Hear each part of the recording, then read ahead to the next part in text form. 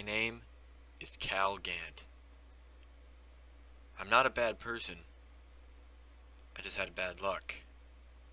Got into the wrong situation. And it cost me a lot.